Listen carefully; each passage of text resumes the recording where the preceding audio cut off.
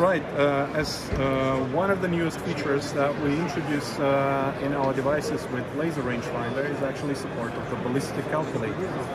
Uh, one of the scenarios, I would say, when you need it is when you use the device in combination with a day rifle scope.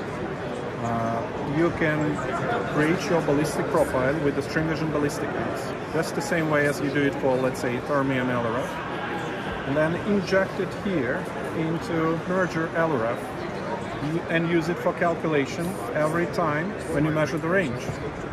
So if you pay a closer look here, right now the binocular is in scanning mode.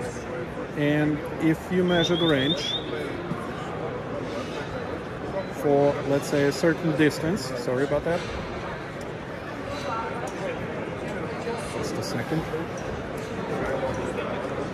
yes, so up here you can basically see the ballistic, the drop compensation, how much you have to compensate in your day rifle scope. And then manually, just the usual way using turrets, you introduce this correction.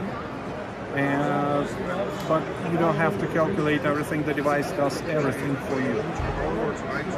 It's one of the new features, we think it will be demanded on the market, especially for those people who are buying uh, our devices with laser rangefinder to use it with in combination with their, their rifle scopes.